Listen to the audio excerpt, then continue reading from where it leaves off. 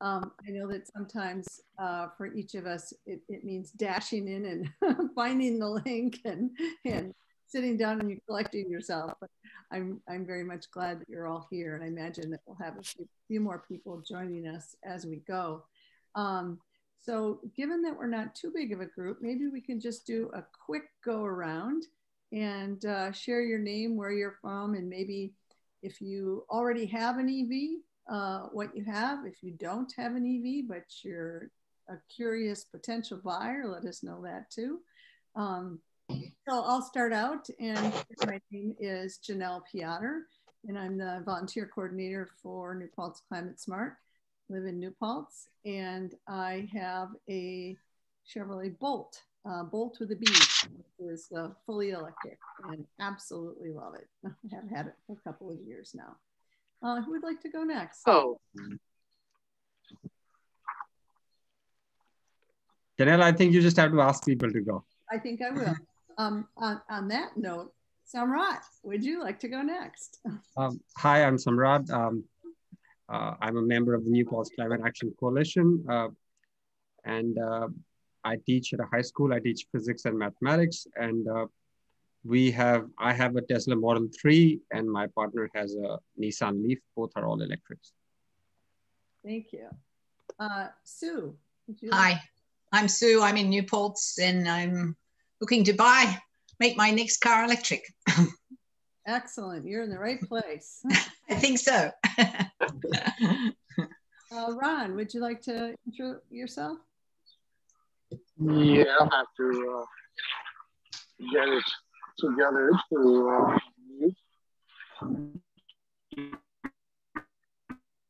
We can hear you, but you're breaking up a little bit, so you can pop that into the chat. Yeah, yes. So Ron from uh, Holland, and uh, next car will be electric, but my conclusion is waiting here. All right, well, you'll let us uh, pop any questions into the chat. Uh, Mark, Varian.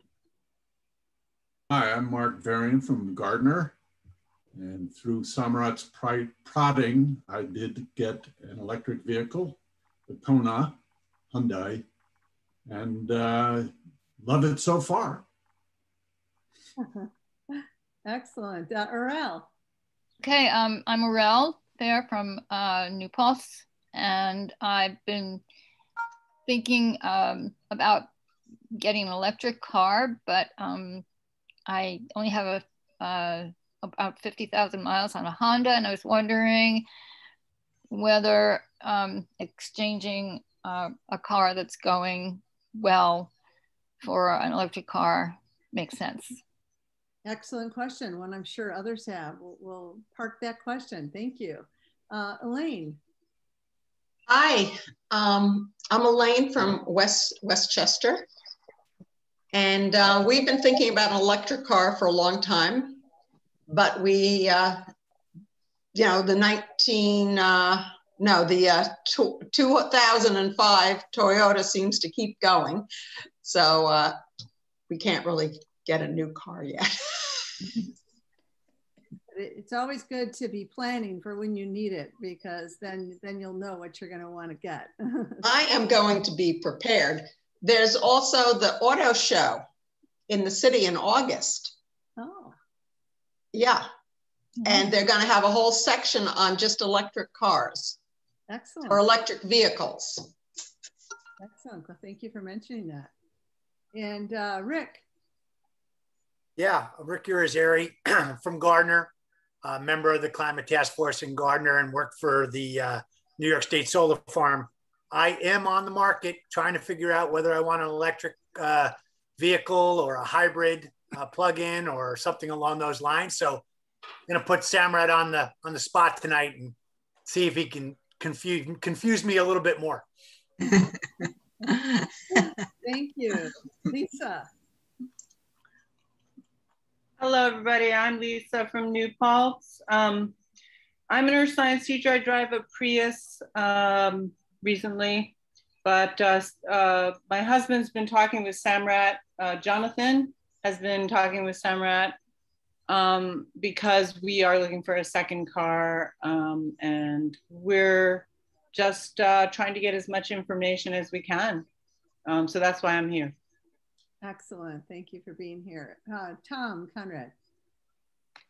Um, hi, I'm Tom from Stone Ridge. I also spend a lot of time trying to get people in electric vehicles. I just wanted to uh, listen in and get uh, see if Samrat has some takes on it that I don't have.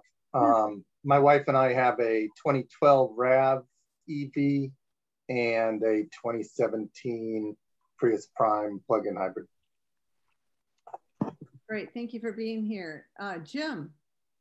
Hi, uh, Jim O'Dowd from New Paltz. Um, I have a, a Prius um, and, um, you know, somewhere down the line, I'd like to get an electric car. Excellent. Uh, Simon. Hi, I'm Simon Strauss from Olive, and I'm interested to hear what everyone has to say. I am going to be looking for a new car quite soon. Excellent, you're in the right place. Um, do I pronounce your name uh, Maitreya? Maitreya. Um, so I'm Maitreya. I'm from Rosendale, and I'm 15 and cannot drive and don't have much control over my family's financial decisions. But I'd hope to nudge them towards getting an electric car the next time it comes up. Fantastic. We're really glad you're here.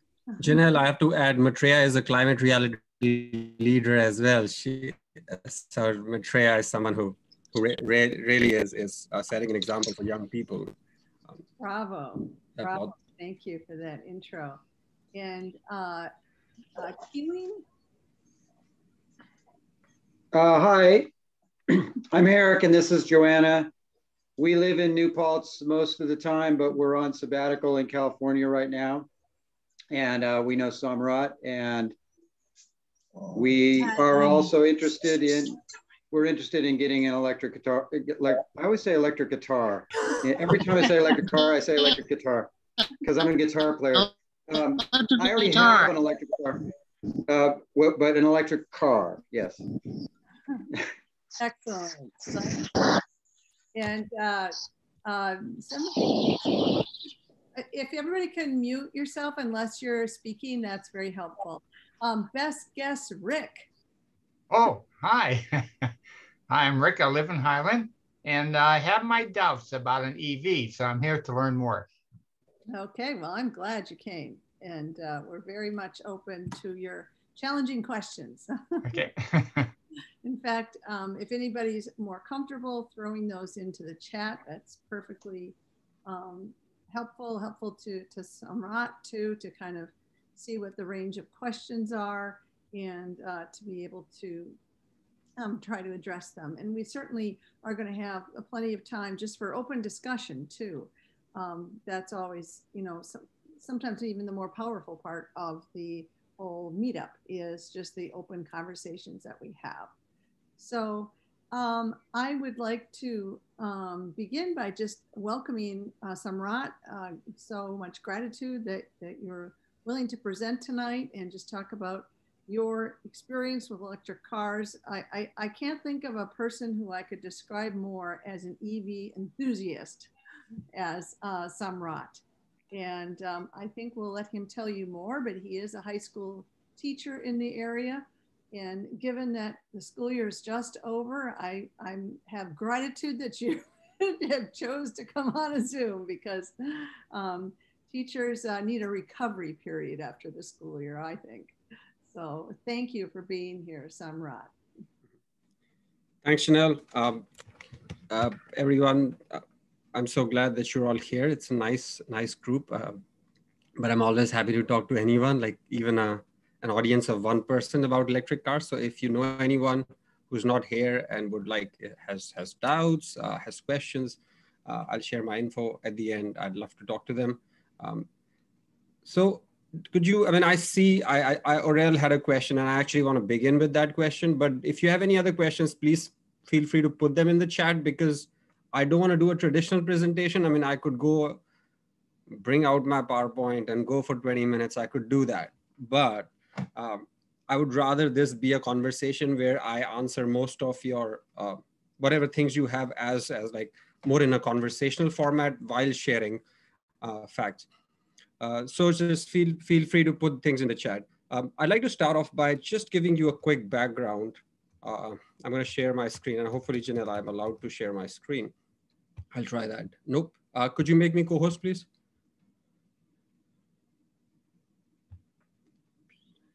You should be able to share your screen now. Try it again. Okay, yes, that's good. Okay. Um, so I just wanted to give you quick background into like this is my my life, my childhood. So I grew up in northern India, right uh, near the capital Delhi. Uh, and my dad uh, and my, my mom and dad are both chemists. My mother was a teacher, and my dad worked for India's largest oil refinery at that time. It's India's largest public sector oil corporation. It's called Indian Oil. And that's me and my brother, and that's my dad and my mom in the late 80s there. And that's the refinery. We, we grew up in the shadow of that refinery. And uh, this was our life. We never thought uh, that there was anything wrong with this way of living. Like it just was, that's how we lived. And people talked about uh, conservation and that was the big thing that we did. Like we would have an oil conservation week once a year. Um, and all, all my education's been sponsored by oil money. Uh, and um, my dad sent me a nice little check to buy a house as well. So some of my, the equity in the house will also be from oil money. So I don't, I don't speak from it from perspective. I don't come from a family of hippies. Uh, I, and I'll try to be very pragmatic uh, uh, when we approach this question.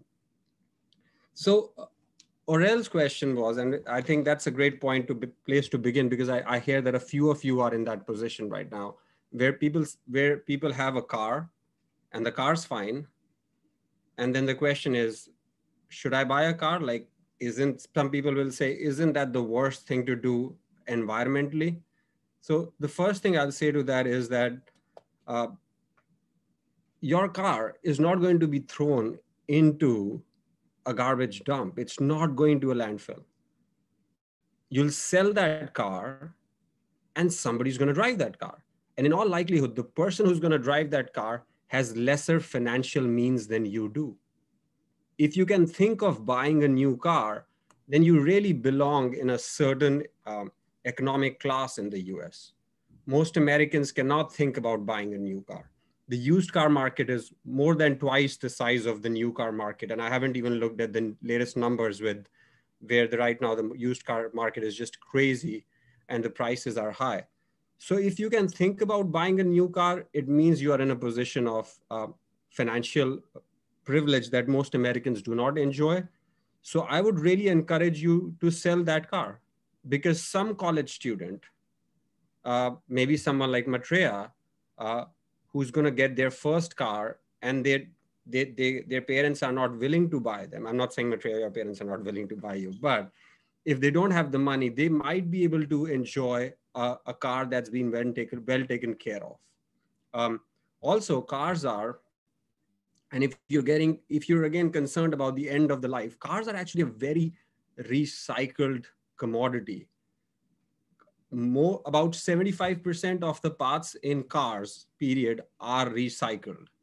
Because it's just like they go someplace where they want to pull out as much as they can from cars.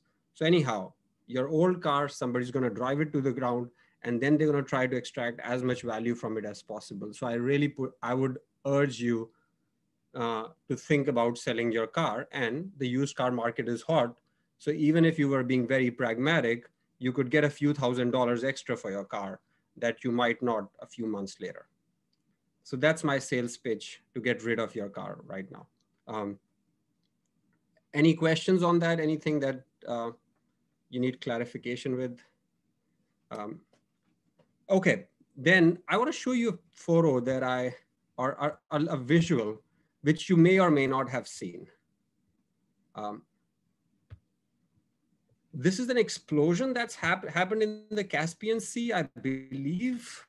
Yeah, I don't know. A couple of days ago, I, to, I forget. The last few days, there there've been a few of these um, oil-related explosions, like including the fire in the Gulf of Mexico. This is in the Caspian Sea, and I'm starting to get confused about the causes and and the order uh, of events here. But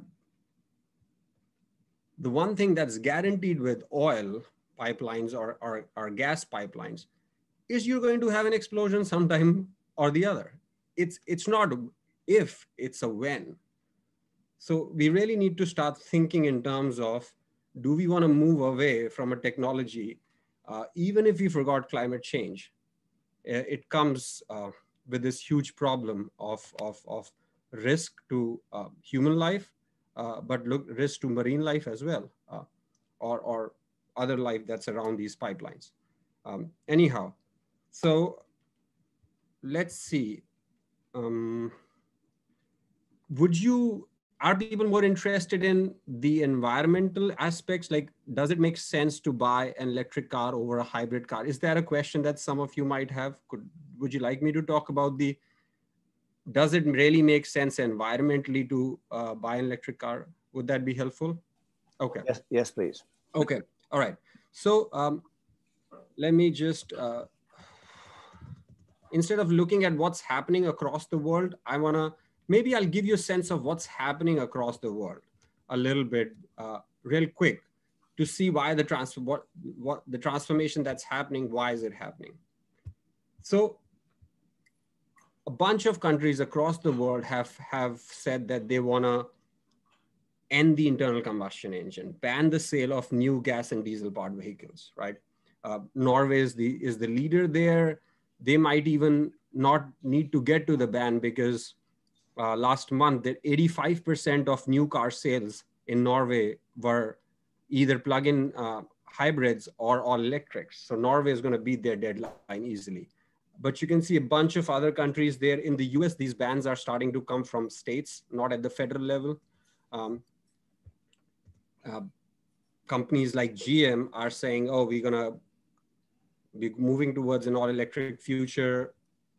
Uh, Ford with the, with the Mustang EV using that iconic name or, or with the Lightning, their F-150 all electric. Tesla, of course, uh, having this incredible presence across uh, the US, but also now expanding to other parts of the world, Fremont, Fremont Buffalo, um, Texas, um, and, and Berlin. And this is sort of a chart. This is, this is last year's and this year's numbers are even better. But this chart should give you a sense of what's happening. And I don't want to get into the numbers specifically, but you can see that if you look at those blue columns, that gives you a sense of how many, uh, what's the electric car market like uh, across the major car markets in the world. Uh, uh Europe, China, US, now, the Chinese is the biggest car market in the world. Uh, and uh, I think the Europeans and the US are very close. I don't know exactly who, who is higher there, but you can really see that the US is lagging behind. And, and they, they, they're, they don't have the kind of governmental support that exists in the EU and in China. Again, looking at 2020 numbers, you see that these are the countries with the highest share of new uh, electric sales and they're all European countries, and it's not surprising. By numbers, China might be bigger. I have to check that. Uh, but as a percentage, these countries are much bigger. So the question really is, why are we beginning to see this transformation? Why is this happening, starting to happen across all the major markets in the world? And one of the biggest reason is that transportation is now the major cause of air pollution related death and disease across the world. But I'm gonna look at US numbers specifically. Um, more than 50,000 Americans die prematurely every year. They lose almost a decade of their life due to transportation related pollution. Uh, this is the this is from exacerbating existing conditions, but also causing new cases and things that are related to uh, your your lungs, the heart. This is this is uh, just tragic the fact that this is happening at this level and we don't talk about this. Now, who bears the burden of this? I mean, who bears the burden of this? These are people who cannot away, afford to live away from highways, which is again, again, I want to emphasize this. These are people who cannot afford to live away from highways. These are people who cannot afford to buy electric cars, right? So we, people who have monetary resources, we buy big cars because, oh, we need to, I go with my family to a ski vacation every year. I must do that. I know I, got two dogs as well. I'm, I don't do that. I'm just saying those are usually the things that people say that I need to do all of that. Well, yes, you need to do all of that, but somebody else's child's health must not suffer as a consequence of your vacation. So I think there's a moral responsibility here that, that a lot of us ignore very conveniently. And um, that's something we really have to look at when we're talking about why do we need to move towards this. Um, so anyhow, that's, and I, one can always talk more about that uh, burden, health burden, the moral burden there. So number one cause of um, uh, pollution uh, and health related problems uh, due to pollution, and also the number one cause of greenhouse gas emissions in the US. So these are 20, 2017 numbers, and you can see how gradually transportation overtook electricity as being the biggest source of greenhouse gases.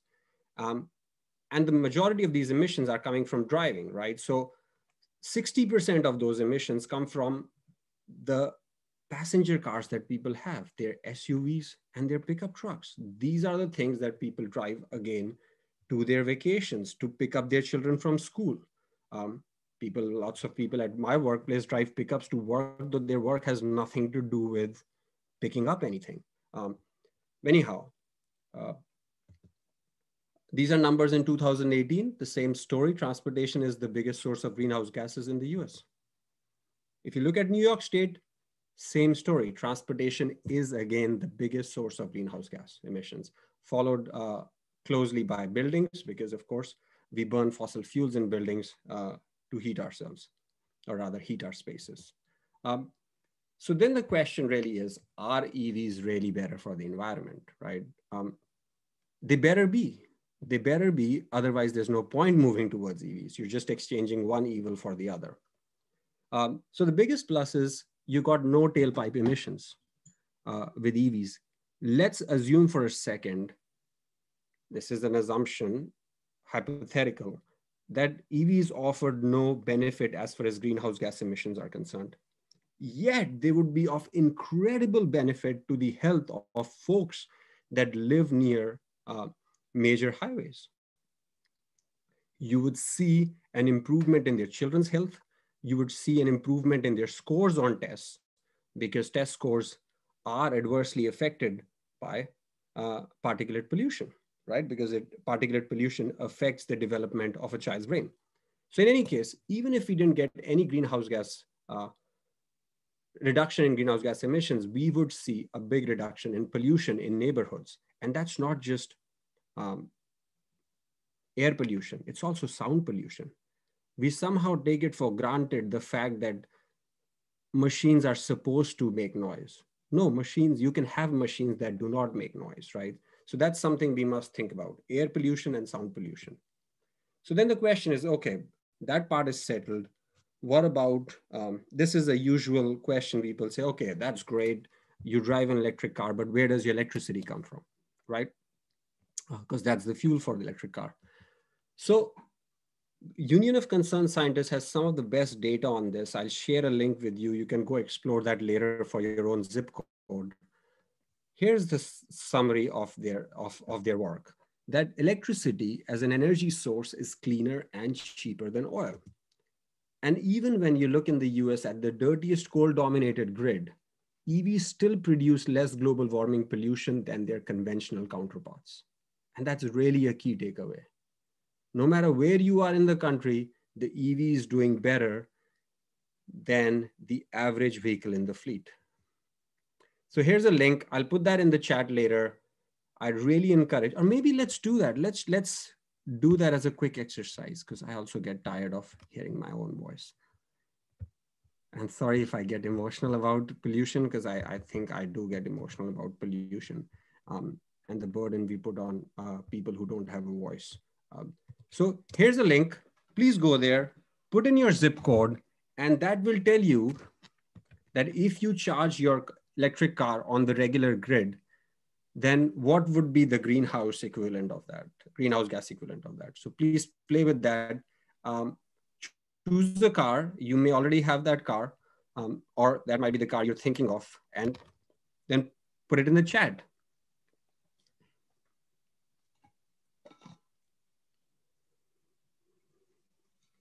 There are prizes for the person who does it first. And there are prizes for the highest number.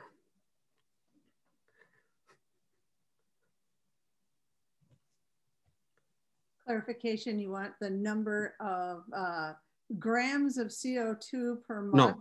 No, no, no, no. We, it should give you, uh, it's basically saying that driving an electric car by charging it on the regular grid is like driving a car that gives you this many miles per gallon. It's comparing the, the greenhouse gas emissions, right? How much would you have to drive an electric car to get the same amount of emissions as uh, like a gasoline car? Uh, so I'm, I would, and again, I'm, I'm happy to share my numbers, but I would love to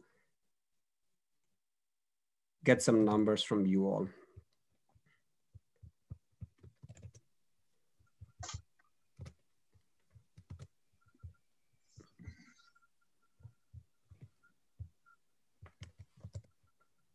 And if anybody needs help with the tool, I'm happy to uh, show how to do that as well. Okay. Okay, 262, Janelle's car. So that's what, what Janelle is saying by 262 is that Janelle's Bolt, if it was charged in the grid in New York, in New Paltz, um, that's great, Tom. Tom gives me the CO2 per mile. I knew I would get the grams of CO2 per mile from Tom. Uh, but Janelle, Janelle 6262 means that you would have to drive this car for 262 miles to get the same, right? That, that, that's, that's, it's, it's equivalent in terms of um, pollution that you get that if you were to burn one gallon of gas that's that's stunning. I, I, hope that number makes sense like because these are such huge numbers right? Uh, again i really want to stress that because this is this is one of the key takeaways here. I'll share my screen to show like if i charge my car from the regular grid i don't because i'm signed up for community solar so i'm offsetting all of that. But it would be the same as if for every gallon i was getting 293 miles. And this is really important, right? Um, it's not possible to make gasoline cars like that. I also want to share, um, huh, that's interesting, Tom. I'm curious. Um, it should, I mean, it should come up on the top as a line right under the where you choose the different options. Like it, it I'm sure I'll show you where I'm seeing it, but I wonder if it's a browser thing as well like it, it shows up here. If you scroll down too much, then it just, then it gives you the grams. But here it should show. Um, anyhow, so that's a great tool to play with. Of course, most people who buy um, electric cars usually pair it with either solar panels in their house or something like uh, community choice aggregation or community solar. Uh, quick pitch for that is everyone signed is does everyone have either solar panels or is signed up for uh, a community solar program or not. If you aren't, then Janelle is the person to talk to, right? So for us, that number would be zero, zero grams of CO2 for any number of miles we drive, right? That's fantastic. Um, um, okay. Again, I'm also going to give you some extra information so that you might have friends who are who express doubts about this as well. It's good to be able to speak to other people about this as well. So if you look at this is again Union of Concerned Scientists, uh, you can explore their website and their resources. And uh, this is the 2018 map. I believe they have updated this. So what you're looking at is again doing the same thing across different parts of the of, of the country. And these are remember these are average numbers. So as you can see, New York upstate says 231, but our numbers in New Paltz are much better. So, so it's, it's important to, to see that uh, nuance there. Now, if you were to do just an average, if you look at the, the bottom right here, the average for US EVs is 88 miles per gallon, 88 miles per gallon. That's quite impressive. Why is that so impressive? So now I'm gonna ask you a question. Um, what is the average fuel efficiency for um, fossil fuel cars, for gasoline cars in the US? If you look at all the gasoline cars in the US and you calculated their average fuel efficiency, how many miles to the gallon do you think they give? What would your guess be? Okay, Tom Conrad says probably in the low 20s. Okay, 15, 24. 22. 22. Jim says 22. Uh, we have to one more, one more before we give out the prize. 17. iPhone says 17. We cannot send any prizes to iPhone. Uh, that you have to be a person to win a prize here. Um, the right answer is 25, about 25. So 24, 25. That's it, right? So just by move, you can see all, also on the average piece nationwide too, you see how EVs just decimate um, fossil fuel cars. That's really important to remember. All right, Scott, that was Scott. Um, okay. And if you have questions, please uh, stop me. I'm just gonna, I wanna again emphasize this with another graphic. I'm talking about the same point, but I'm emphasizing this with another graphic. This is the life cycle emissions in New York State of a mid-sized premium fossil fueled car. Why am I using a mid, mid-sized premium fossil fuel car? Because I'm, I'm going to compare it with my Tesla, which is considered a premium. I don't think it's a premium. It only costs you $40,000 to begin. The average price of a car in, uh, in the US is now $36,000 but that's how it's classified. Those are the life cycle emissions in New York State. For a, for a Tesla Model 3, that's for personal use and is solar charged, which mine is. So the, you see how many, it's off by how many factor, factor of three or four there. So it's not, and even if I charged it on the regular grid, even if I could not sign up for community solar, I would see, still see that bigger difference. So, um, sorry, that's really important to uh, as a takeaway. But additionally, the amount of renewable energy in our grid keeps going up. In two, 2019, 80% of all new electric capacity was renewable energy. Can you say that, oh, oil is going to get cleaner as a fuel? If you forget, what is that? Is that a euphemism, like euphemisms like clean coal? Like, can oil get any cleaner? No, it cannot. But the fuel in our electric cars, electricity can get cleaner. And that's what we're seeing is happening. That's the same story in Europe as well. That's uh, their numbers. Let me just make sure. Yeah, that's 2018 numbers. 88% of their new capacity was solar and wind.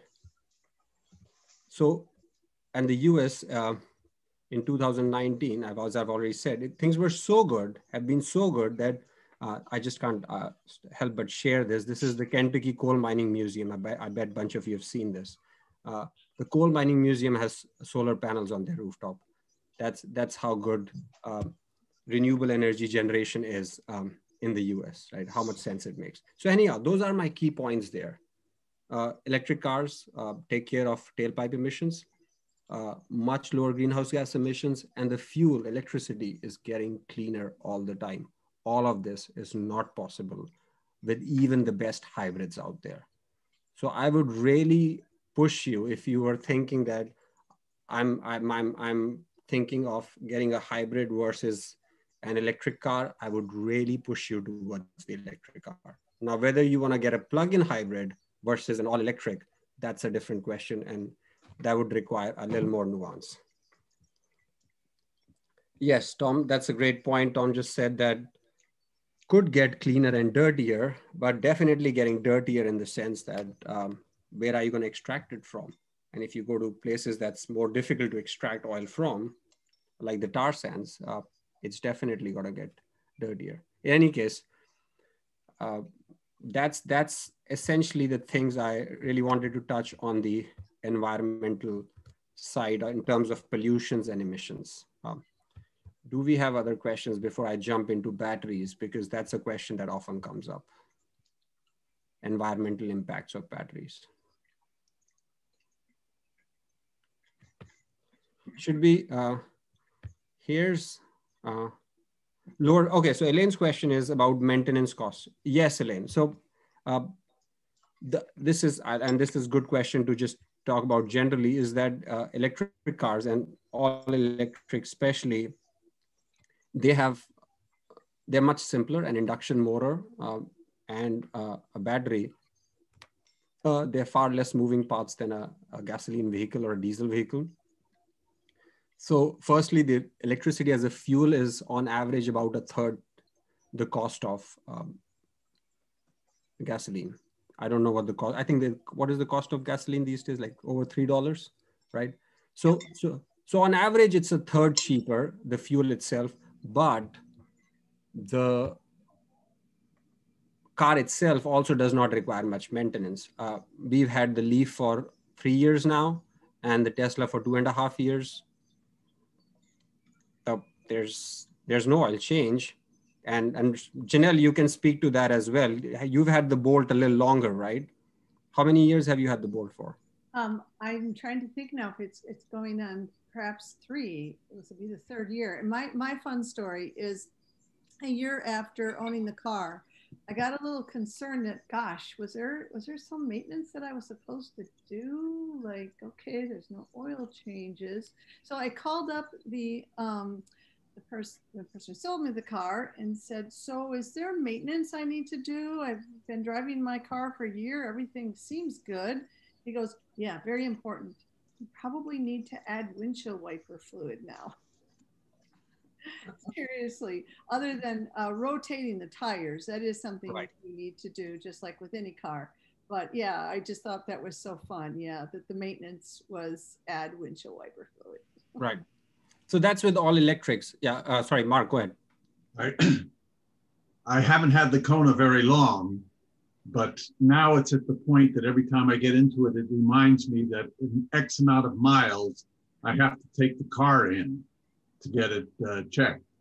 Now, you know, if I reach that point and don't do it, is it going to drive me crazy until I actually do? That Mark, then you just find the setting to turn off the ah, notification.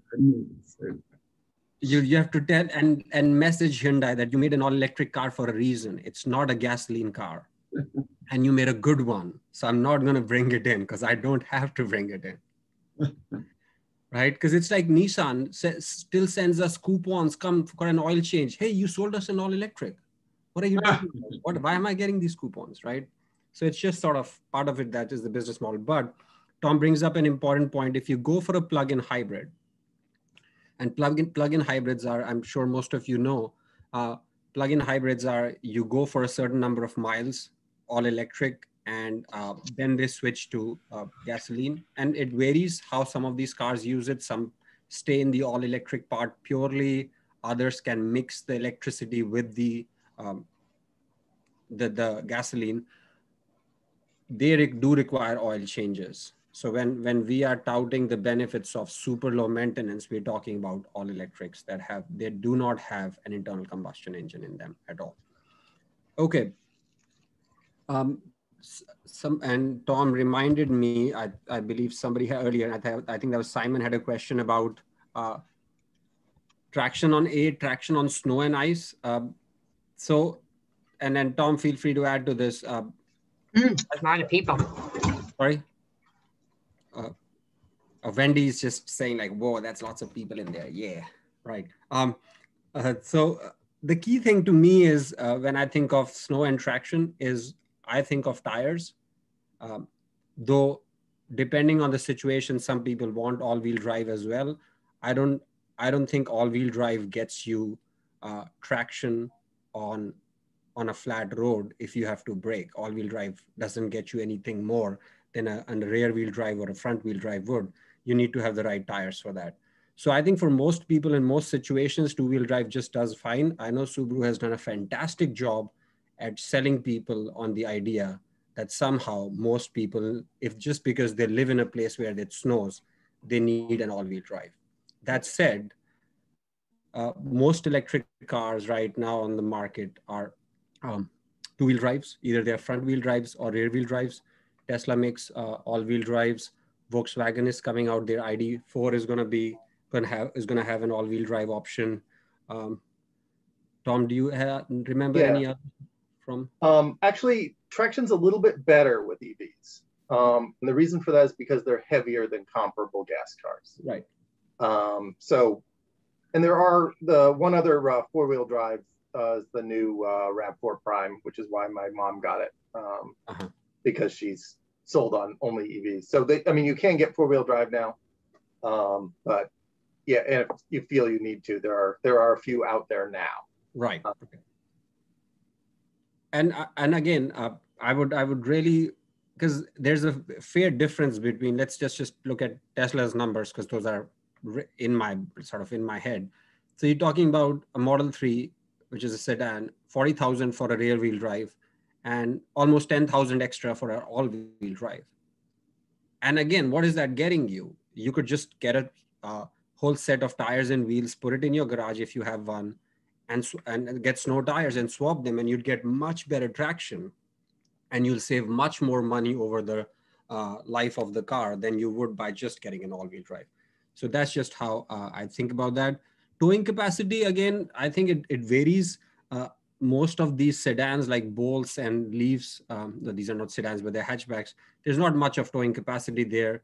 The Tesla Model Y has, has a fair amount of towing capacity. I, I believe the Volkswagen does as well. Tom, does the RAV4 does do the same thing with towing? Um, yeah, I mean, I think it's a little bit, it's going to be a little bit better there. I mean, my RAV4 2012 um, I have a tow bar on it and I have towed. Um, I don't know the exact, I've never really pushed it, but um, it probably could do 3,000. Right. Um, and I know that the new Ford F-150 Lightning is going to have amazing towing capacity. Right. Um, so, I mean, really you have to look at the models, but I mean, if it's a model of a car that you think about towing with an ICE vehicle, you're probably be, going to be able to tow a little bit better with an electric version again because the vehicle's heavier. Right, right. And uh, uh, Elaine, to answer your question, the Model Y, Tesla Model Y has has a towing capacity that can uh, easily do that. You all, of course, you'll see a drop in range when you do that. And the Model Y also comes with an option where you can get the tow hitch and everything. Uh, so that's a good one to look at. And it's a hatchback and it's an SUV style. So you get a lot of the, the perks uh, of, of, the larger space and everything, plus the towing capacity. Um, of course, that like Tom said, the Ford Lightning is great as well. Um, that should be out soon. Tesla has the very divisive Cybertruck. Some people love it. Some people absolutely abhor it. They think it's just, uh, uh but uh, anyhow, I'm not going to pass any judgment there. any other question there that I might have missed before I want to make I make some points about batteries?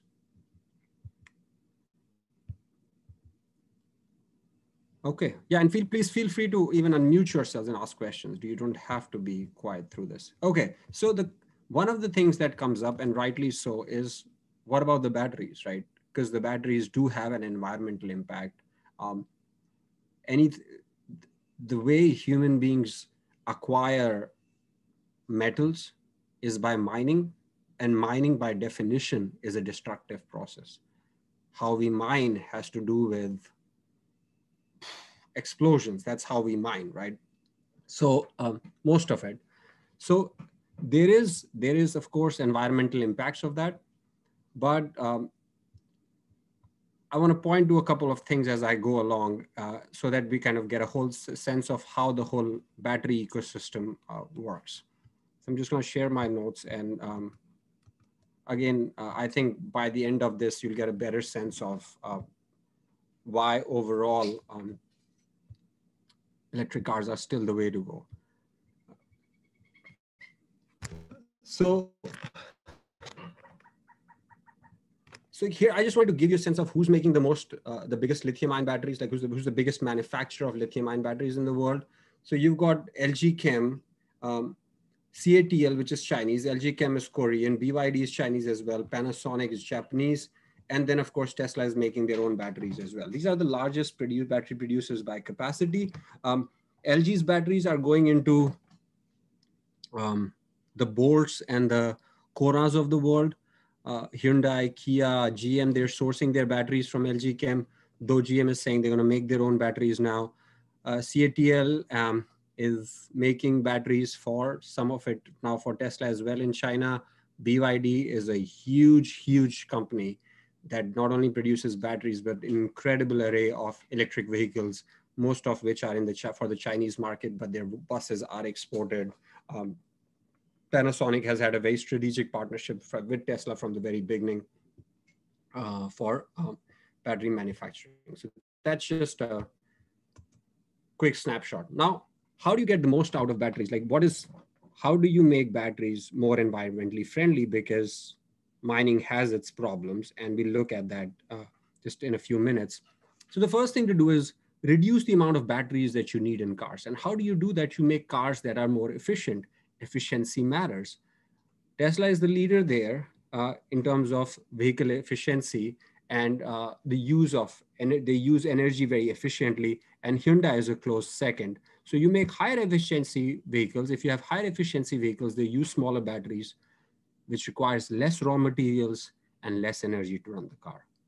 So if you're very particular about that and you can you have a lifestyle where you can buy a smaller, smaller electric car, I would always push you towards getting a car that's more efficient and has a smaller battery pack, period. Um, then after their life in electric cars, most electric car batteries will be reused um, as, as storage batteries. Let me give you some examples of that.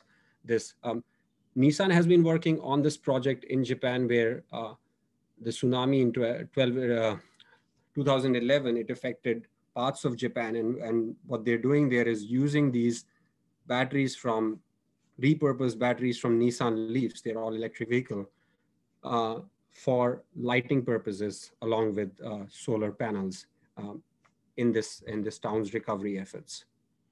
This is Amsterdam, one of their most famous football stadiums. They have, uh, again, a whole energy system ecosystem set up there using used Nissan Leaf uh, batteries. Uh, this is this is more on the experimental side, but uh, Audi has been using batteries from their cars that they have been doing tests on uh, to run again um, on one of their campuses uh, and and to get collect data on this. But this is really the future of of a lot of the electric car batteries they will not end up in landfills. Firstly, they will have a second life as storage batteries where it's a, it's a less exacting life. Uh, it's, it's, it's a difficult life to be in an electric car and they'll have an easier life uh, in, their, in their second life. And then, um, and, and I'll come to recycling in a second, and this supply of used batteries is gonna grow as EV adoption increases. And these are you have to take these numbers with a grain of salt because there's a huge projection there. We're saying anywhere from 112 to 275 gigawatt hours per year of used batteries becoming available by 2030 now what does that even mean? How much is that 275 gigawatt hours? Well that's the 200 times the total energy storage installed in the us in 2018 that's really the scope the possible scope of the used ev batteries so that's just fantastic. And of course, when that happens, that not only increases the life of the battery, but it complements renewable energy like solar and wind, therefore further reduction uh, in fossil fuels. It's a very virtuous positive feedback loop. I'm going to skip that section. Then when you're finished, you will get to recycling. And this is where a lot of effort is being put in because we really, batteries have precious uh, materials that we do want to recover, and it would really be awful if we just threw them away. Now, fossil fuels, remember, are extracted and used any, only once, but lithium ion batteries are recyclable. Um, at least theoretically, most of them. So a, a lot of this is still um, being worked on. But um, if you look at the battery life cycle, this is what it looks like. You mine the raw materials, you produce the battery, you use it in a vehicle, and then you recycle that of course, at that point, there's a second life as storage battery. So that's important to remember. And it's the extending the life of battery is really superior both for, for environmental and business reasons. It really makes business sense to recycle batteries and not mine raw materials again. Just wanted to share this example. Umicore, European giant, did already do a lot of recycling of, of lithium ion batteries. Um, they have 50 production sites worldwide um, employ more than 11,000 people. The US Department of Energy has been really interested in battery recycling because they realize that this is the future. We really have to have a big presence in this market. it's a, it, this would be a very strategic geopolitical thing, especially with regards to China. So they, they launched the ReCell, ReCell Center uh, in 2019. That was when Trump administration uh, was there. And that's their mission to help grow a globally competitive US recycling industry. And they have few focus areas and they've made pivotal discoveries in all of that.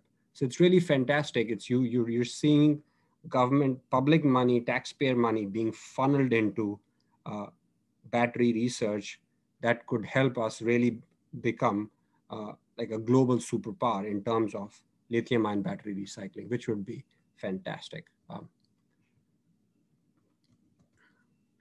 Li-Cycle is one of the bigger, uh, again, battery recycling, newer startups, uh, and they've developed a process which is very uh, low waste, um, and they can recover up to 80 to 80, 100% of all materials found in lithium ion batteries. They are going to build um, a recycling hub in Monroe County, New York this year. Uh, I don't know the exact status of that project right now. So I'd have to look up on that and see how much progress have they made, but that's really exciting that that's really happening in New York. Um, of course, there's Redwood Materials. I'm, I'm just throwing a few names out there. Uh, this is created by the co-founder of, by J, uh, JB Straubel, the co-founder of Tesla. And again, uh, they are recipients from Amazon's uh, 2 billion climate pledge fund. And again, they, they, are really looking to, all these companies are really looking to capture uh, the, the recycling market, the lithium ion recycling market. Here's a, another point I wanna stress uh, before, as, before I finish this section. I think when people talk about batteries, they talk about batteries as if they're all the same. Like a lithium ion battery is a lithium ion battery, but it's not, right? Yeah, you've got various different chemistries, and I'm not going to go into all of them. But these, these batteries can be really different in terms of their environmental impacts, depending on which becomes most popular. So you've got the last one, the LFPs, the lithium iron phosphate um, batteries. Those are, they don't even uh, contain cobalt, and cobalt is one of the more problematic uh, elements in, in batteries. So it's, it's really an important point to remember that battery chemistries are evolving. They will keep evolving. The industry is really looking at sustainability because whoever does it most sustainably and with least amount of environmental impact, plus, like I said, it makes business sense to do it this way, they're going to win the they're going to win the market. I just want to give an example that Tesla is already using the cobalt-free batteries and uh, that are made in China, and these are these cars are now already being exported to Europe. So that's that's a little bit of the battery background. I know there's a lot of stuff I'm throwing at you there. Um, but I want to stop there because I think I've covered most of the environmental stuff there. I can talk about how mining is being made better uh, and how, how in there exist initiatives to really clean up mining. And it's all very exciting, but I don't want to uh, spend all the time there. I'm happy to take other questions now. Um, okay. So Tom mentioned that I, I talk more about the practical parts of uh, owning an electric car. Would that be useful? Yes, no? I think so, because we have a number of people that have said they're interested in buying an electric car. Yes, yes, please. Yes, please. okay. So uh, again, and, and feel folks, because there are a bunch of us who are EV owners here, feel free to jump in and talk about your own experience. I'll start with mine because I'm a renter. Um, and i will speak from a renter's perspective and this may not work for you but it works for me so uh, very roughly and i'm going to put this in the chat as i speak if you charge uh, an electric car at the regular 120 volt outlet right where you the same one that you charge your phone on you'd probably get about four miles every hour of charging four miles of driving every hour of charging. That's a rough number. An average number could be a little better a little worse right? Because uh, and people would ask when they I, when people would ask me like where do you charge your car? And i used to say very tongue-in-cheek thinking i'm very smart um, that well wherever you can charge your phone uh, you can charge your car. But then our dear friend dan gunther who passed away earlier this year he said samrat you cannot charge an electric car on a train And I said, yes, I have to, I have to put the exception in there, right? So that's true. So 120 volt, you get about four miles per hour. If you switch to 240 volts, then it can really, it can vary because again, it depends on how many amps have you set it up with. So again, that's, but uh, I'm going to give you sort of average numbers. It might be a little less or more depending on, on your setup. Um, that you get about 25 to 30 miles of charging every hour, of driving every hour that you uh, charge. So that's that's your homes. That's what your home setup is going to look like on AC.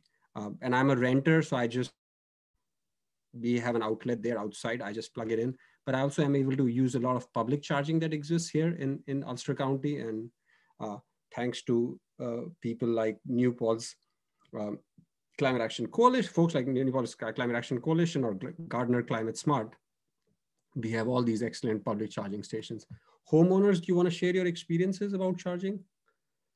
What is it like?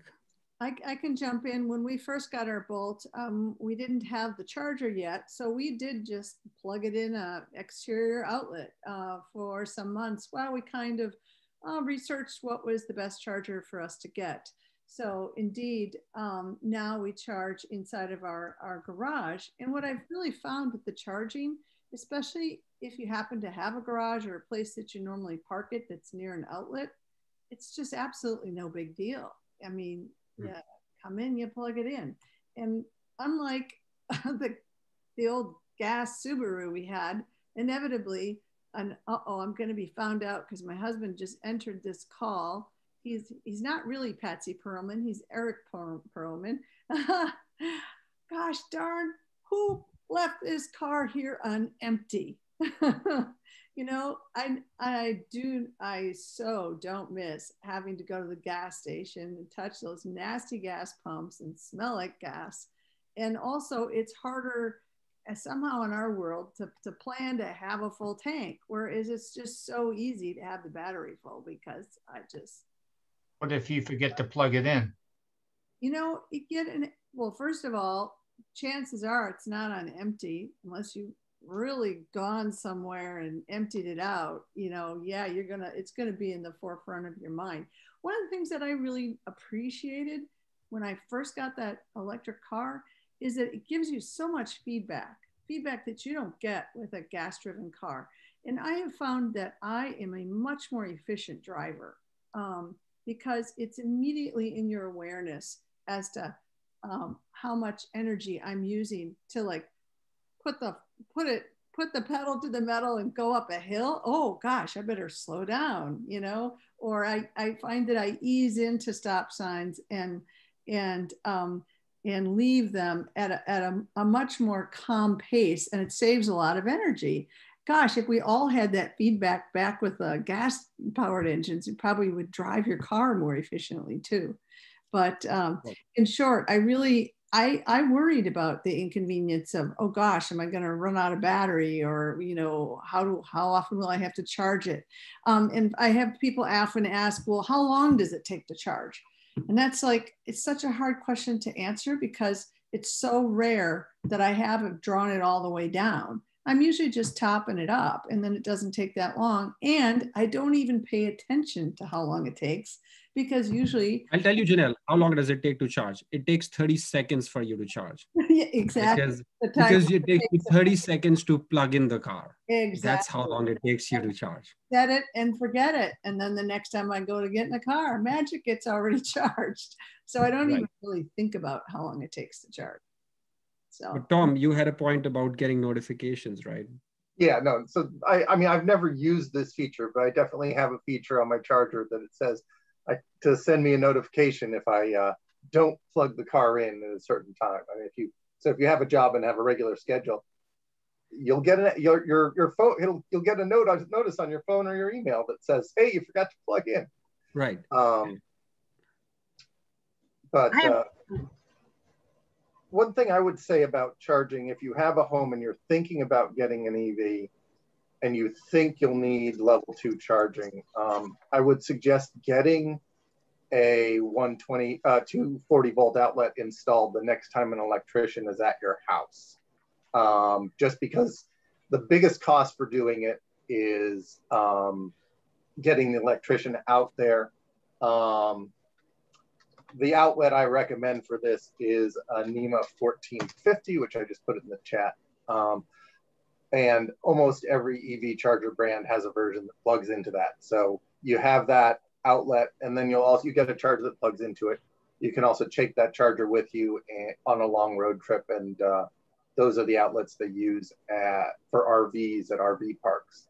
So you can also charge at RV park parks if you wanted to. Um, so it's a that if if you're getting prepared, if you already have the car, like Janelle, um, then you can get a hardwired one. But uh, it's kind of nice to have that option.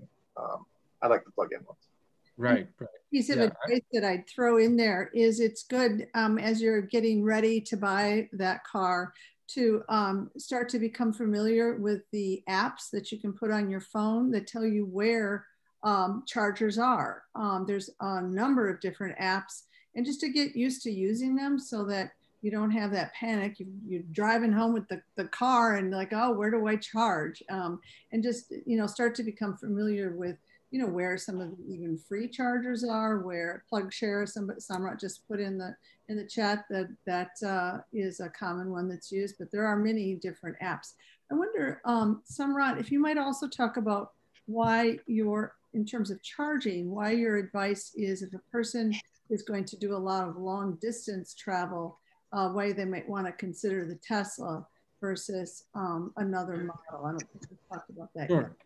Sure, sure. Wendy, did you have a question before? I, I did. Thank you. Um, yeah. Now I know very little about electric cars, but I really am thinking about doing it. So, and so it may sound like a stupid question, but um, do they over time lose battery power like a like a cell phone does? So right. that you know, like, don't keep a charge as long. Right. That's a great question, Mandy. So that's that's that's what is called battery degradation. Um, yeah. So that does happen over time. Uh, but um, thanks for coming, Simon. See you. Uh, so uh, that does happen, but again, it's not going to happen. Most cars, most electric car, actually all of them, they come with at least 80 years and 100,000 miles of battery warranty. But remember that warranty does not mean that the battery is going to stop working because just like your phone doesn't stop working or your laptop doesn't stop working, it's going to keep working. What you will see is you're getting lesser miles for the same amount of uh, like charge, right? So essentially you can't charge it to 100%, so to say. Uh, and that varies from model to model, but uh, with most of the, like some of the best numbers we have are for Teslas uh, because they've been driven the most number of miles. And it's very encouraging that uh, in like these cars can be expected to last 300, 400,000 miles mm. right? Where it's still usable capacity because the, what the battery warranties are saying is that we are guaranteeing you that you would still have, let's say, 70% of your capacity after these many years. So I think battery degradation is not something one has to worry about so much. Uh, though, of course, um, you, you clearly see that because I mean, again, there are the big players are all the big players and they're sort of sharing their technology.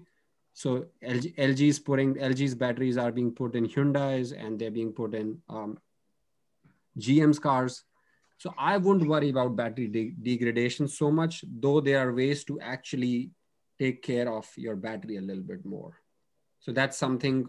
If once you get there, you've bought a car. That's something we can discuss. We could maybe have a session for EV owners on how to baby your battery. You don't have to, but you can if you want to.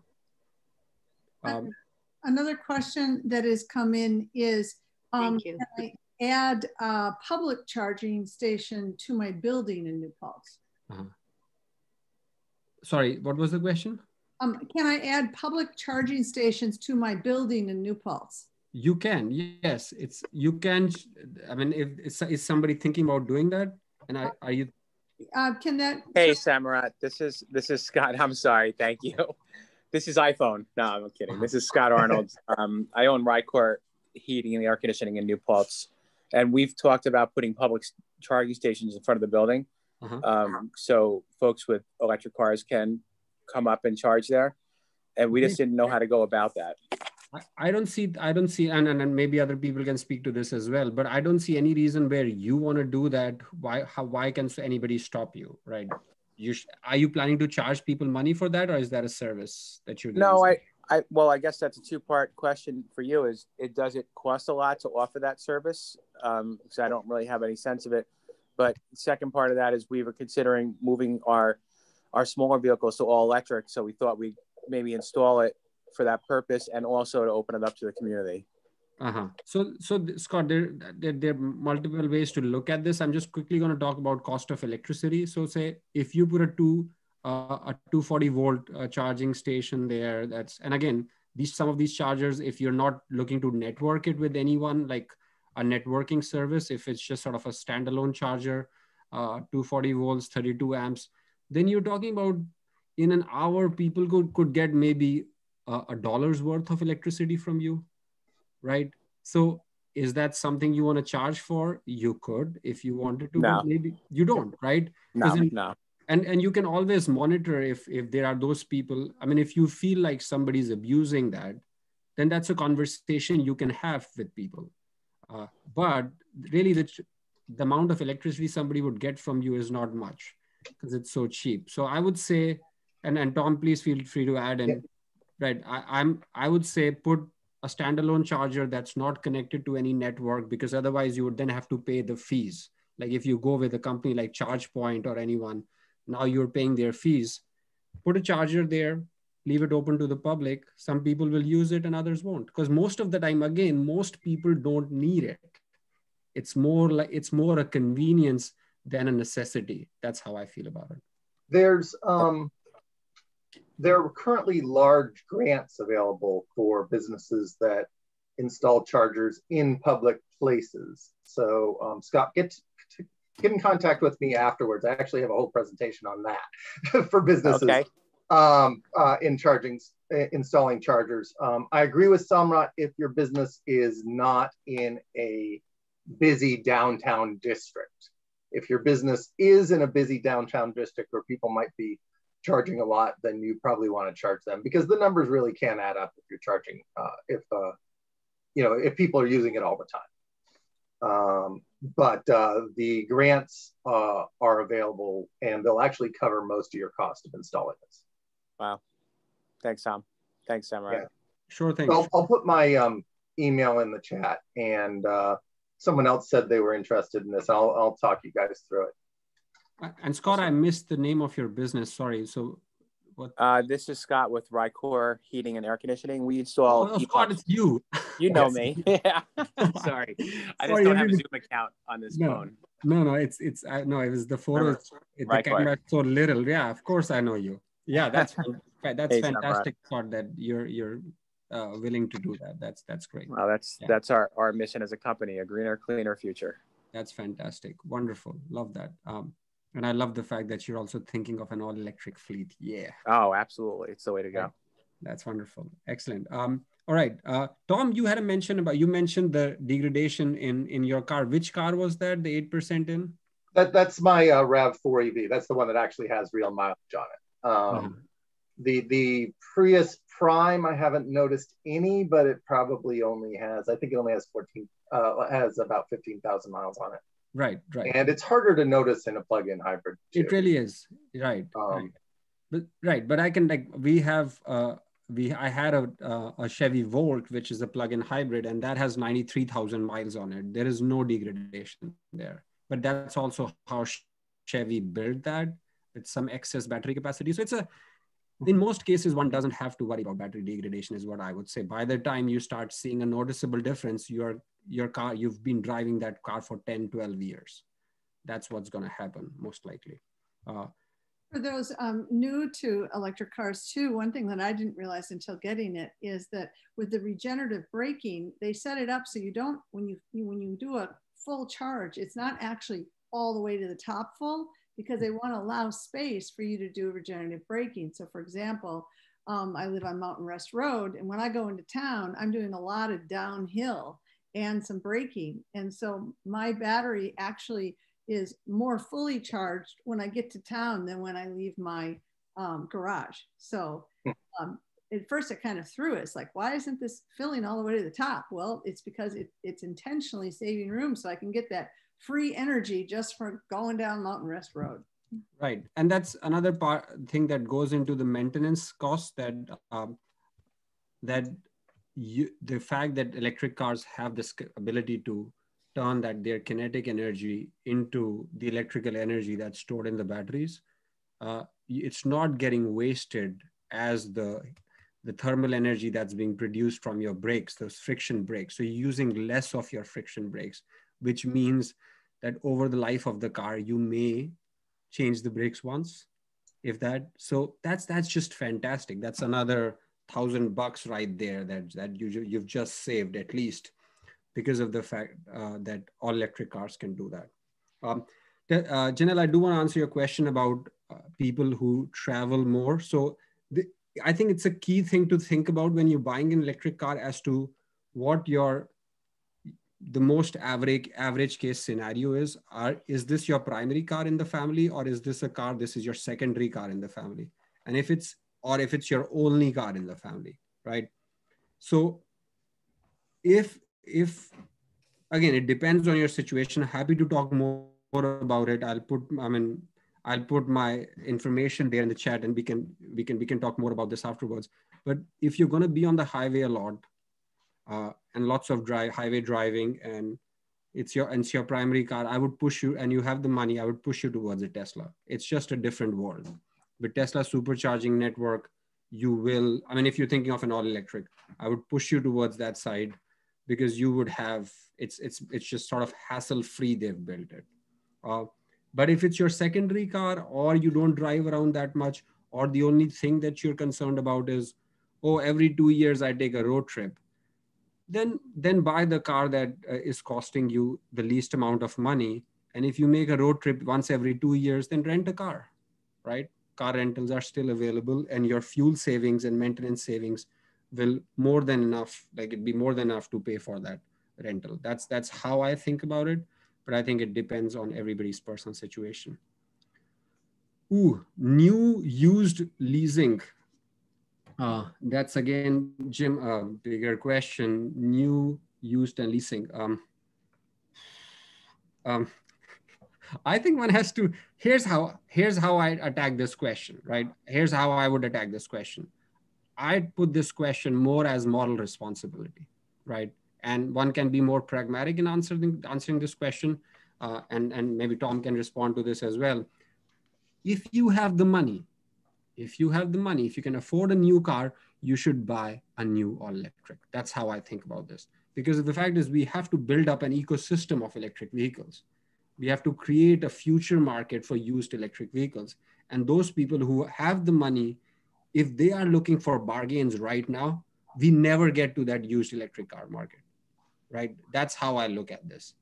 That said, um, if if when if I look at Teslas, depending on the car, most of the time the used car doesn't make sense to me because uh, they retain their value very well. But you can get good deals on other electric cars like bolts. Bolts are usually ones that you can get good deals on though the used market is very hot right now. And if you're thinking of a used ev i would just say wait and watch and see how this plays out. Uh, tom do you want to add to yeah. that uh, um, i agree with samrat on the point about buying new if you want to change the market although you can lease too actually. I think the yes. those people who lease are the ones who are really uh, make it bringing creating new uh, market. Um, on the new versus lease, I would say, are you the type of person who leases a car? Or are you the type of person who buys a car? It's, it's the same decision. There's a little bit more towards leasing an EV because historically the resale values have been relatively low compared to an IC, a, a, a internal combustion vehicle. So um, you hold them a long time, uh, the leases way. Um, on the used side, right now, I agree it's not the best time, um, but it depends on the used car. The used cars that are really expensive right now are the ones that um, car rental agencies want. So if this is your second car and you're looking for something for just bopping around town without a lot of range, one of the first or earlier EVs with a limited range, I doubt those are pretty expensive yet because um, those aren't the type you would a um, rental agency would would buy because they'd worry about their clients getting stuck. So those have typically always been really cheap. Um, and like a second car, or you're buying a car for your son who's going to college and you don't want him to get too far away. I'm really, I think, you know, 60 mile range uh, EV is perfect for him. Um, so, I mean, it depends on what you need. Right, right, exactly. Um, Can I ask something about that range question? I might have missed this earlier, but for a battery charge on a non Tesla car, what mm-hmm. sort of mileage would you get with a full battery? I mean, not it mileage. Depends on the, it um, really depends on miles. the model. It really depends on the model. Oh, okay. Um, yeah. But, uh, so you have to research that particular model. Yeah, but, but, right, but it can sue most most of the new all electrics most of the new all electrics are now in the 230 240 250 range. Miles. Oh miles. okay. Yeah, with a full battery. oh okay. Cool. Right, yeah. right. But it varies. But it can vary. And it's a it, that's why it's a personal question. Yeah. And, and the old ones though used to be in the high double digits. So 50 to 100 miles. Um, and you can buy them used for very cheap now so if you can get by with a 50 to 100 mile, which is like the one, my RAV4 um, was 100 mile, which was one of the longest range available when it was built. But now it's it's pretty wimpy, but it, it works great because it's not our only car. Right, right. Okay, thank you. And if, if, I, if I pull into a gas station and want to charge, how long is it going to take me?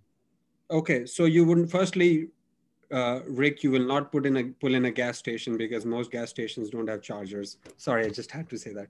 Uh, but yes, if you did, it depends on where you're. Again, it depends on the model, and it and it depends on the car you like the car and the charging station. So this is where you really need to look at what car are you buying uh, and and what where are you going to charge it? So that that's really a personal question. Like it's hard to answer that question but i'll give you an average figure. Again for whatever it's worth right for whatever that's worth i'm going to give you an average figure that if you had a tesla and again this is average uh, it can it's usually better than this. I always give conservative estimates. Then under most conditions in 15 minutes you would get about 100 miles of driving Hmm. in a Tesla, right? In 15 minutes, you'd get about 100 miles of driving. That's like, I'm me being conservative. Now, when you switch to other cars, it, it's usually lesser, but it doesn't have to be. And that's why it's it's hard to answer that question. That would require uh, really a personal uh, look at this. And that's I just want to make a quick pitch, Janelle, because you wanted to say something that uh, Tom and I provide uh, clean energy coaching through the through New Yorkers for Clean Power, and that's a free service to the community. So that's a link there in the chat. If you if you really want to go over these very specific personal questions, it'd be great if you just make an appointment with either Tom or me, uh, or through that link, and then we can go over these specific scenarios with you. Janelle. I was just going to make uh, the comment, especially to Sue, who asked the question about uh, the range, is that do note, however, that in the winter there is a significantly less range. The the the, the temperature does make a difference, so you, you do need to plan for that. Right. Yes. So, so yeah. So you can it can be any like again on average it could be like a third of the drop in range especially when it's very cold, right? And again, depends on how much heat do you use in the car. Does the car come with a heat pump or not? But it's good to think about those things as you're thinking about buying the car.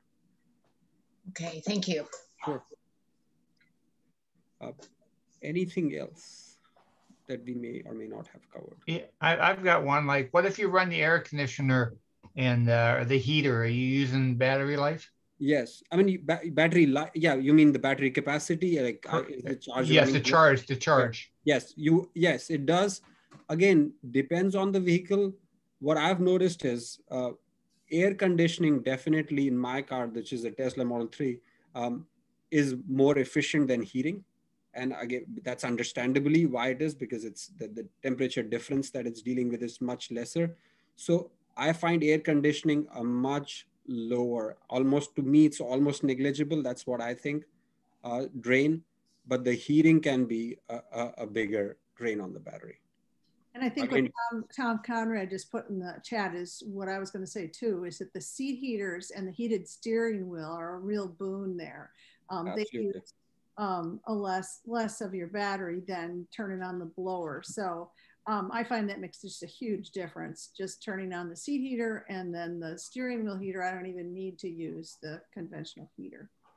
That's a great point. That's a great point. That and and that's why again, when you buy the car, a lot a lot of the cars, this is like an additional package, can be called a winter package or a comfort and convenience package. This one is really worth investing in. It's a, just a few hundred dollars but depending on the car, it may be standard. Like the Kona EV comes with this standard. So if you buy a Kona, all of them have it. Uh, and it really, it really is, is wonderful to have those, definitely. Anything else? There might be a few more questions, but um, before you all leave tonight, I did want to share with you just a, a couple of upcoming uh, dates. Um, we do have our next uh, Climate Smart um, um, meetup is in the form of our monthly book club, which is going to be July 20th this month. And the book is Good Husbandry by uh, Kristin Kimball, and that's actually Dan and Ann uh, Gunther's daughter. So um, people have been telling me they're really enjoying the book. Um, so that you can find on our meetup platform, and it's also in the newsletter also wanted to tell you about um, the next uh, Climate Solutions meetup, which is, and it's always, the pattern is always the first uh, Tuesday of the month. So in that case, it'll be August 3rd. And we always meet at six o'clock. And um, this one is by the Hudson Valley Green Team. And the, the Green Team is made up of SunPower, uh, um, Phone com, uh, Co. Com Insulation, and New Beginning Windows and Doors. And there are four local companies who are committed to reducing uh, the carbon footprint and fighting climate change. And what they're going to be doing is kind of a hybrid live in person and Zoom meeting. And it's going to be at Rycor's new building um, in New Paltz on Chestnut. So you have the option, um, kind of easing our way back into meeting in person to join us uh, next month, either live or via Zoom. And each company will, will be presenting on their services and products and it will also be reviewing government incentives to assist homeowners in purchasing the products. So I think it'll be a very interesting meetup. Um, so with that, just wanted to, to let people know that's coming. If anybody um, does not currently receive the New Paltz uh, Climate Smart newsletter, uh, do be sure to send us an email, simply newpaltzclimatesmart at gmail.com. And I'll be sure to add you uh, to our uh, mailing list so that you'll get the newsletter and updates. Um, Janelle, can I say something? Something I've always wanted to say, and today is my lucky day. So, so my friend, um, my friends from Cali, I've, I have lots of friends in this room, but uh, two of my special friends are from California. They're in California, but they're they're in California, but they live here in New Paltz. Eric and Joanna, and I don't know if Keeling reminded you of anything. If the if the name Keeling reminds you of anything. But Eric's father, Charles Keeling, is the person who started the work at the Mauna Loa Observatory for uh, the CO2 concentration, and that's why it's called the Keeling curve. So I just I just wanted to point that out because Eric is in the room. I thought that was really important. Yeah. And and Eric teaches at SUNY New Paltz. He's a forest ecologist, right? Eric, is that yes, that's a good description. Um, so it'd be lovely to, I think, once to have Eric in the New Paltz Climate Smart whenever he has time. He's on sabbatical right now to talk about some of those things because he's a wealth of knowledge on that. Oh, trust me, I just jotted that down. I would love to have you present on those issues. That would be fantastic. So I, I'll be tracking you down. Thank you. um, there, you can talk now. Okay, yeah, that, that's that sounds fun. That sounds fun. Excellent. Thanks, Eric. Yeah. Uh, any any last questions? Question? All right. I would very much like to thank uh, Samrat uh, for um, fielding all of our questions tonight, presenting, and all of you for participating. Thank you so much. Um, and uh, thanks everyone. Yes. Thank you, Samrat and Janelle. Thank you. Thank yeah. you. Be well. Yeah, thank you. It was great. Take care. Bye. Bye, Maitreya. Bye, Samrat. Thank, thank you, Samrat. Bye. Bye. Bye, Scott. Bye, Samrat. Thank you so much. Sure thing. Thanks for coming. Thank you for the, the education. It was awesome. Of course. My pleasure. Thank He's you. Great. He's great. Bye, Rael. Bye, Lisa. Bye-bye. Bye. Bye, Bye, guys. Bye, Scott. See ya. Bye-bye.